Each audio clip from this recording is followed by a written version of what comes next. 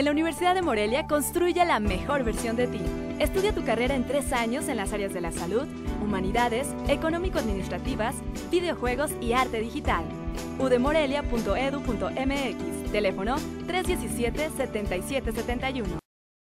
Poco más de mil procedimientos iniciados registra en este 2013 el Poder Ejecutivo en Michoacán, señaló José María Cázares, presidente de la Comisión Estatal de Derechos Humanos. En este año tenemos, en relación concretamente al Poder Ejecutivo, arriba de, las mil quejas y eh, tenemos un registro de un 10% menos con respecto al año pasado.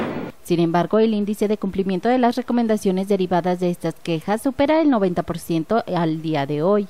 En este momento lleva arriba del 90% de cumplimiento. El Ombudsman agregó que espera que en menos de un mes se alcance el 100% de cumplimiento. Tenemos la esperanza de que al finalizar el año o, en el próximo 20 de septiembre, que es el informe de la Comisión Estatal de los Derechos Humanos, poder informar que el Ejecutivo Estatal ha cumplido todas las recomendaciones que le hemos girado.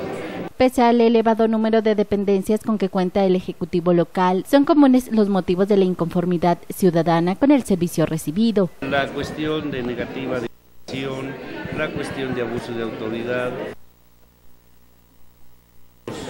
en el Ejecutivo es la Secretaría de Educación.